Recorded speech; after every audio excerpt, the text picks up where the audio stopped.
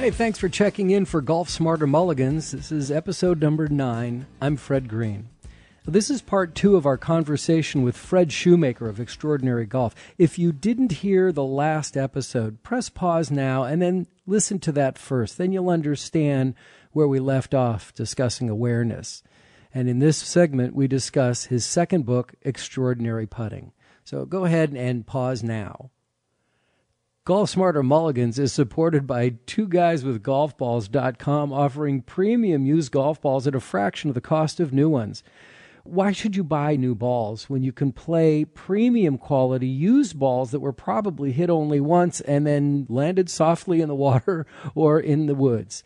Now, the selection at two guys with golfballs.com have each ball has been hand inspected and sanitized, and then they grade them for quality. So even though they're used, you know that you're getting a ball that is probably hit only once. Or if you want a lesser quality, you can do that too. There's three different grades to choose from. Golf Smarter and Golf Smarter Mulligans listeners in addition to getting that great savings of paying like half price for balls, you get an additional 10% off every order every time with a coupon code Golf Smarter at checkout. That's two guys with golfballs.com and that discount of an additional 10%. The offer expires on April 1, 2020. And Mulligans is also brought to you by Autoslash.com. A U T O S L A S H. Autoslash.com is a rental car booking service that will save you time and money. AutoSlash applies every available coupon code to your next car rental that you have in your personal system. That includes coupons that you're eligible for based on various memberships like AAA, Costco, or even your uh, airlines memberships. Well, what they do is they track your reservation until the day you pick up the car and they email you when they find a better rate. And sometimes you get emails every day, but you don't have to react to it. You can do it at your time, whenever you have the availability to do it. The, the thing you should know is that the average user saves 30% off of any other booking site. And AutoSlash, amazingly so, is completely free. So bookmark it now on your browser and use it for your next car rental so that you can get the best rate possible from the completely free autoslash.com. Now, as we begin uh, this conversation with Fred, I'm commenting that when I find myself focused and in the moment, not thinking about what I have to do when I get back to work, not the score of the round, what I did on my last putt, but when I'm there and I'm present, I play my best golf. Well, that's what they're teaching at the highest level of the game, highest level. Do you realize that guys are playing the tour exactly what you just said?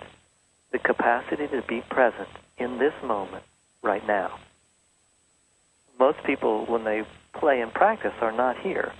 You walk down the fairway usually thinking, well, I'm three over par. If I could par the next two, then I could turn the nine and 41. That would be good for me, but the back nine, and that sort of story. Or I've just mishit a couple of shots. I got to remember what I did on the range. There's something about being in this moment that I've seen the only greatness in sports performances that I've really seen or been part of or or had a chance to interview people about. They said pretty much this. It was simple and effortless. It's like time disappeared. I was so present and I loved it. It's the same thing all the time. But how do we get there? I mean, everyone's got, you know, golf is a distraction from life. Well, you can't get there.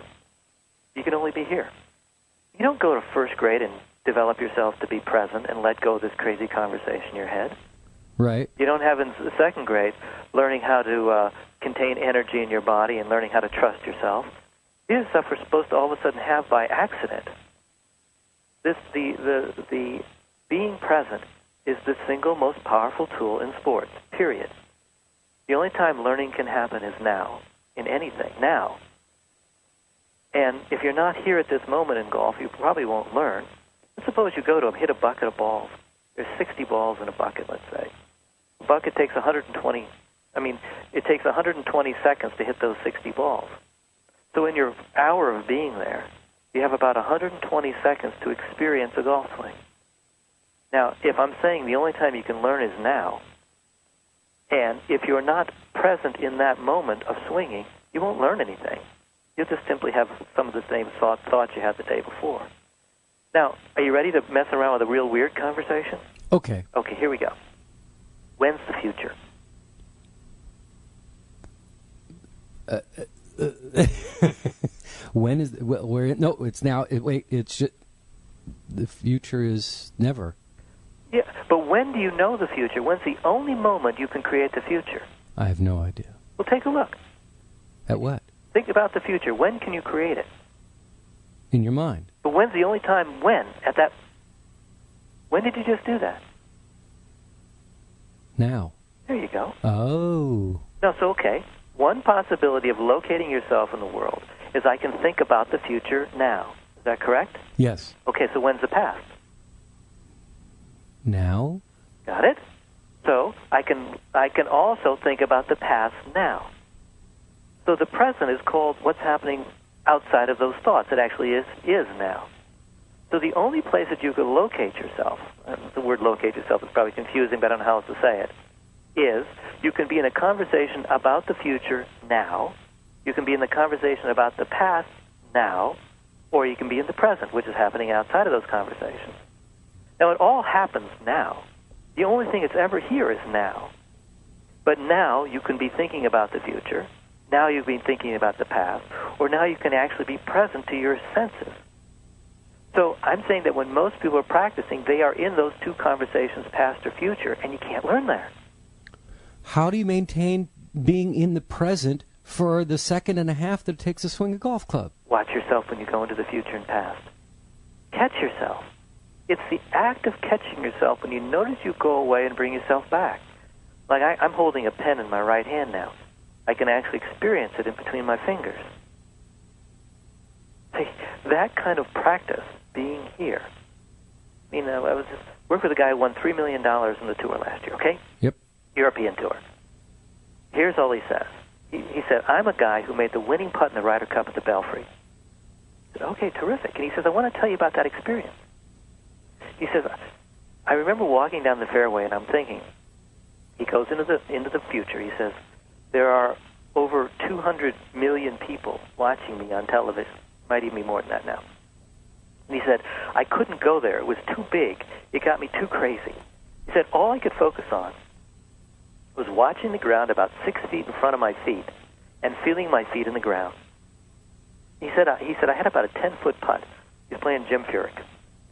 And he says, I got about a 10 footer that breaks a little left to right. I step over the putt after I've lined it up and I look out and I see the spot under over which my ball wants to roll. He says, I look down at the, the ball, I look at the spot, and I feel the putter in my hand. I put it, and I noticed I felt the solid hit, and I swiveled my head slightly to the left, and I saw the ball rolling towards the spot. I see it hit the spot, and I say to myself, wow, it hit my spot. And then it falls into the hole, and I know he doesn't remember a thing after that. He's jumping around the green and everything. And he comes and he says this. He said, I've never been more present in my life than I was in that last putt. But this is the kicker, the greatest part. He said, I've just played in the AT&T. He said, it's a three-round cut. He said, I've just shot 100, 221 for three rounds. I've missed the cut. And he said, even on the 17th hole at Spyglass, even when I know I've missed the cut, I have a four-footer and I'm afraid. He says, I was afraid for 221 shots. He says, how can a guy who is so present during the Ryder Cup, when everything matters, be so fearful when just another golf tournament comes by for 221 shots? He says, how can that happen? And that's what he's asking. It's a fascinating story. Very interesting. See, yeah, I mean, I'm not going to go through, you know, I said, I don't know, but let's talk about it. So, how do you develop yourself as a person grows more and more of the capacity to be present and catch yourself more when you go into way away into the past and future? Mean, that's what he worked on the whole next year after that. See, great great players aren't necessarily don't necessarily go into the future or past. They just catch themselves more quickly and come back more quickly. When you watch am- amateurs, sometimes they can be in the, this whole story about the future for two holes. You know, going on about what people think and what will happen to this and what would happen. You know, rarely catching themselves. So that's a great uh, capacity to notice where your attention goes and to bring it back to where you are, your desire is. You know, the, the one thing that demarks a human being is a being who can have some measure of say so over where their attention goes. We are not just a machine. You know, even if you go by an accident or by the side of the road that the police are there, you don't have to stop and look. You can actually go by without, you know, just wish them well and on you go. So we are not a machine. We do have choice about the matter. But it's noticing where our attention goes and the capacity to bring it back that's a, a mark of uh, greatness in this game. As we're talking, I'm experiencing moments in golf in my mind, especially in putting, where I've made a putt that it, that I was very excited that I was able to sink that whatever distance it be, 10 feet or 30 feet or even longer. But I remember that moment as if when I was lining up the putt, as if there was a line drawn Yes. from the cup to my ball, and I was able to see it as if someone had marked it for me with a you know with with white chalk, and all I had to do was just feel it go in, and it ended up going in, as if I saw the ball the whole time before I even made the putt. So it's like this. Is this accurate? You saw a possible future and simply got over the ball and were present, hitting it along with the line that the future had given you. Is that right? Mm-hmm. Great. Now, how can you create that when you want? Mm-hmm. Not just. I'm a- asking you that question, Fred. Yeah, there's. I, I there's. Uh, this is this is not easy conversations. You know, sometimes without a run up, they seem kind of like uh, silly to people. But I practice, and I I went out this morning and I practiced from 6 a.m. to 7:15 this morning. I practice doing nothing when I practice. I simply step up, be present, and let go of any thought that might come in that tells me how to do something and I simply observe what's there, feeling in my body, seeing a line to a target, over and over and over. The moment I work on stuff or try to remember stuff, that kind of you had it when you saw that line. There was a certain kind of knowing, wasn't there? Mm-hmm. That kind of knowing can't come out of a formula. It can't come out of a remembered tip. It happens when there's like an emptiness that allows it to show up. So, you see, every once in a while, you'll know where a putt is going before you see it, Mm-hmm. before you hit it. It's rare, but boy, is it exciting when it happens. Now, most people know where a ball's going to go when they look at it after they've hit it. Let's say they look at it in the sky. Oh, that's sliced because I can see it sliced. Okay? Professionals know absolute certainty where the ball is going at impact. Okay? So far? Yep. I can feel where it's going when the moment I touch it. If I can't feel it, you're not a golf professional. Now, there comes a time when you can let go of this remembering and being in your head and non-presence when you can actually know where a ball is going to go on the downswing. That's what I was experiencing today. As the club started down, I knew with certainty where the ball would go. It's an, it's a, it's knowing, but it's backing up earlier and earlier the source of when you know. Now, there are times that I experience knowing where a ball's going when I'm setting up to it. There are more times now than there were because of the practice I'm doing.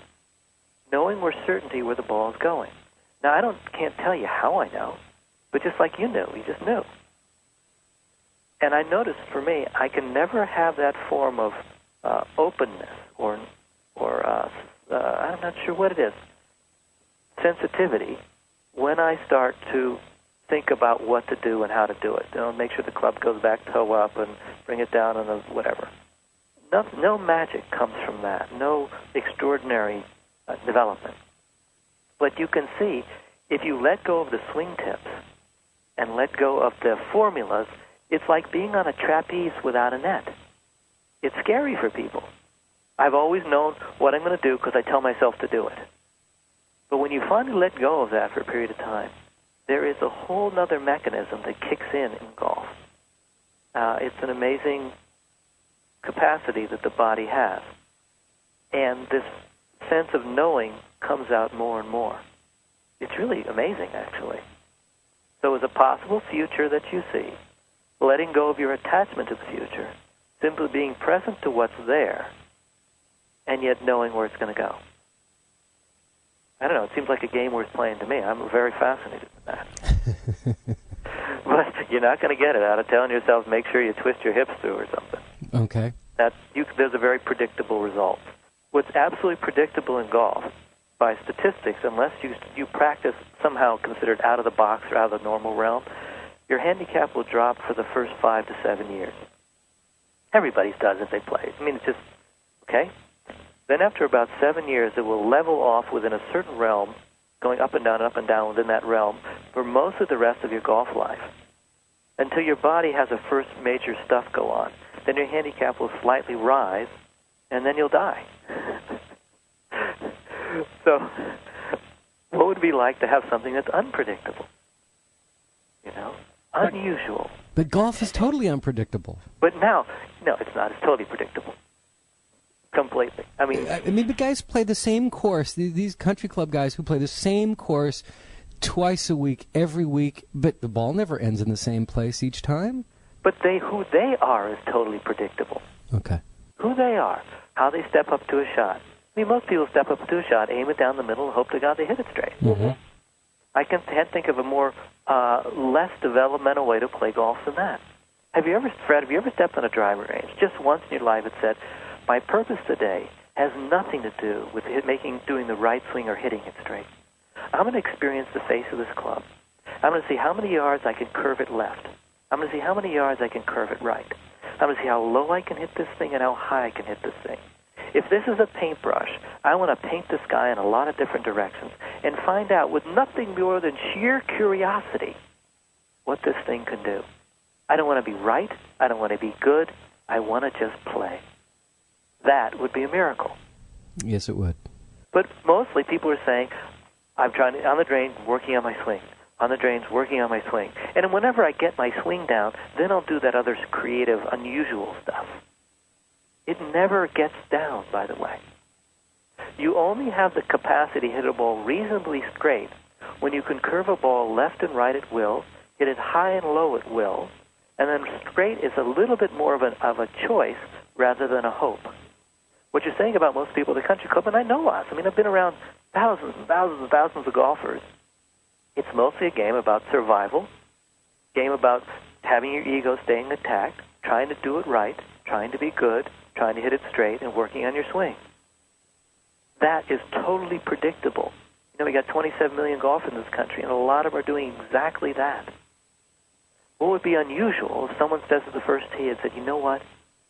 Today, just for me, I'm going for freedom. I'm going for creativity. Now, I'm going to have my body let this go no matter what. And if the pin is back left, I'm going to hit a low draw in there. And the pin is front right, I'm going to hit a high fade. I'm going to shape the golf course the way that was intended to. I'm going to have the architect call forth shots for me. I'm not going to hit the shot I should hit, but I'm going to hit the shot that turns me on. Now that would be unusual. Yes. you okay? I, I'm I'm I'm I'm trying my best to absorb this stuff, and some of it I'm like going, uh, what? Yeah, good, good. but I definitely am going to bring it with me the next time I go out and practice. Yeah, well, you, you won't be able to bring it all, but no, of course not. Something. I mean, I mean, are, are we simply machines who step up, please God, let me hit it straight, and try to hit it straight, and then berate ourselves when we don't go to remembering a formula, what we didn't happen, and try to correct in the next shot? You know, mm-hmm. or are we have this capacity to, to to commit, to create, to have our intentions, you know, be stronger than our our addiction for having it work out. So let's let's play a little game. You ready? Okay. Okay. You're 75 yards from the hole. What's the target? Um, well, the ultimate target would be the hole. Okay, so that's your target. Okay. That's true. Is that true for you? Yes. Okay, terrific. Now play this out in real time. Okay? Now you imagine you're standing up over a ball. Mm-hmm. You swing it to the top. I want you to picture yourself at the top of the swing. Okay. Okay, you're at the top of the swing starting down. You ready? Yes. What's your target? The ball. Now, you say that like it's okay, just the ball. Do you realize what a, a, a stunning paradigm shift you just went in? Did you? you most people don't realize in the middle of a crucial action they change targets, and as the target changes, once the ball becomes a target, the downswing will be quick, usually coming slightly over the top, and your body will go into a stall manner and all that kind of stuff. Uh, see, a professional is someone who's connected to a target throughout the motion and the target that they chose. An amateur is someone who knows what the target is, generally, but in the middle of a swing, all of a sudden something else comes up, like make sure you hit that. Survive. The ball's the target. But very few people will ever say, you know what? In the middle of a swing, I change targets. We work with a lot of businesses using golf as a developmental tool. And people get in the saying, you ask them what's the target? Oh, the vision statement's the target. The mission of the company. We're all behind and rowing in the same direction. Okay? Then they get in a boardroom and you watch them change targets all the time. It's about being right. It's about dominating people. It's about the, giving a pretense that they have the answers. Uh, it's not about empowerment and for the vision. And very few people recognize in the moment that they change targets that they change targets. So the to- the ball is not the target. Well, didn't you just tell me the target was the pin? when I'm when I'm setting up, Well, why would it be different? because I got to hit the ball. Well, let's suppose this: a pitcher is throwing a ball, correct? Yes. Coming out of their hand. Yes. What's the target for the pitcher? The glove, the catcher's glove. Don't you? Wouldn't you say, "Well, I have to let go of the ball"? Yeah, but he's not looking at the ball. He's looking at the target. The enti- he's looking at the catcher's glove the entire time. It- when it- I hit the ball, I'm looking at the ball. I'm not looking. You don't want me to be setting up over the ball, looking at the flag. No, I have a job because people look at the ball. That's why I have a job. the target is not the ball. See, it's possible to be connected to something that you're not looking at. See, any any sport that a person looks at the object of propulsion, we have millions of coaches, or at least thousands of them. There are more coaches in golf than any other or teachers in golf than any other sport in history. Okay. Mm-hmm. The second most is tennis, which people look more at the object than more sports. Well, those are large participatory sports Yes, those are true. that that are life sports. But you don't have a lot of people coaching fishing. You have very few people coaching running, which is just as participatory. So, so if you took the top 10 sports, the ones with the dominant coaches are ones that people who are looking at the object. It's not that they're looking at it, it's that they make it a target. Hmm. What would happen if you were still connected to the target throughout that motion? I could promise you that your technique would change. Hmm. Anyway, it's it's be Awesome. some food for food for thought. I mean, uh, You didn't really say fool for thought, did you? did I say one of the We all are fools for thought, aren't we? oh my gosh. Yeah. Okay, so Extraordinary Golf came out about uh, 1996, Yeah. and now you have Extraordinary Putting. Yes. Is it basically the same concept that you're working on here? Well, I wanted to go into uh, putting because you get a lot of stories of golf where I'm not strong enough and I'm not can't hit it that far, and all these stories that come up, right? This is I cannot because some reason. But anybody can putt. I mean, anybody. It takes no strength, and so suppose that putting. Well, it's also the easiest club to hit, correct? But well, not really. If you really watch putting, people hit putting as most off as much off center, or as consistently off center as they do every other club. They just don't notice it. I mean, putting is most people say it's kind of boring and not very ego satisfying for them. Full swing is a big thing. Really? I love putting. Okay, well that's kind of interesting. But suppose putting could reveal uh, your relationship to failure, learning how to trust your body, learning how to learn, could distinguish the depth of your own awareness, how to handle self-doubt, discovering how to produce peace of mind and freedom, learning how to coach yourself. In putting, but it would be directly transferable to any part of the game. So it would be fun to take one area uh, and explored it in a depth in such a way that can make a difference in anything. By and large, putting's fine. It's an interesting subject. But the way that people do putting is the way they do chipping, is the way they do full swings. And if you want to take it out to, I mean, this is California, we can take it out ridiculously. Is that the way we do putting is the way we are with our family. it's the way we are in business. I mean, it's still us. Golf isn't metaphorical at all. But golf is a metaphor for the game. You've heard people say, but suppose it's not metaphorical at all, because it is, it's the, really you. Not a metaphor, it's the real practical crucible in which to look at how you are. It makes it more interesting that way. and for those of you who we've gotten crazy and said, "Well, will somebody just tell me about a grip and how can I lay up on a four par if I don't want to reach the creek?"